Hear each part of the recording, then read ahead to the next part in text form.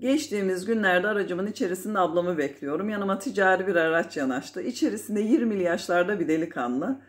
Dedi ki ablacığım belki annem yaşındasın belki ablam yaşındasın bilmiyorum ama beni sakın yanlış anlama. Ben sana hayranım abla.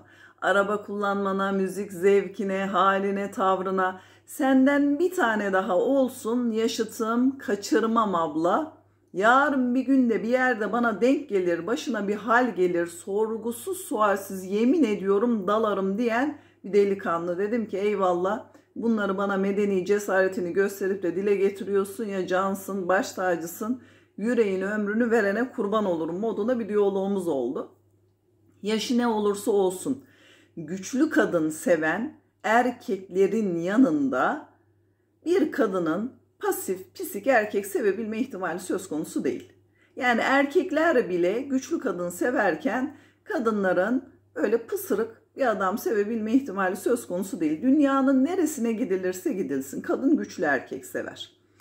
Tilkiler, çakallar bile kendi aralarında dişinin peşinden gidecekleri zaman birbirlerine güç gösterisinde bulunuyorlar. Hangisi alt ederse dişinin peşine o gidiyor gibi.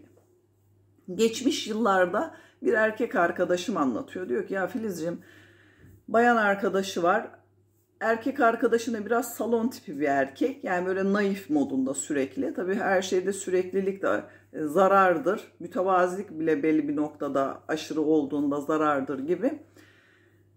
Kadın ayrılmak istiyor arkadaştan falan da karalar bağlıyor. Bir gün bir erkek arkadaşıyla işte denk geliyorlar. Ne haber ne yapıyorsun falan işte sohbet muhabbet. Ya diyor hayırdır senin ruh halin biraz böyle hani sıkkın falan.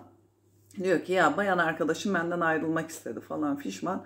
Tabii ki de erkek arkadaş da yani anlattığı derdini anlattığı erkek arkadaşı da e, arkadaşının yapısını az çok biliyor. Salon modeli bir adam. O da diyor ki ya diyor kadınlar sert erkeklerden hoşlanırlar diyor. Yani biraz şöyle dişini göster diyor yani. Ben buradayım sen hayırdır ya hani modunda davran diyor. Neyse bu buradan gazı alıyor, yükleniyor, gidiyor bayan arkadaşının yanına diyor ki bana bak bana diyor ayrılmak mı ayrılmak yok diyor.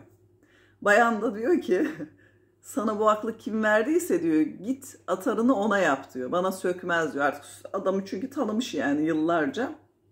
Sonradan hani olmuyor gibi.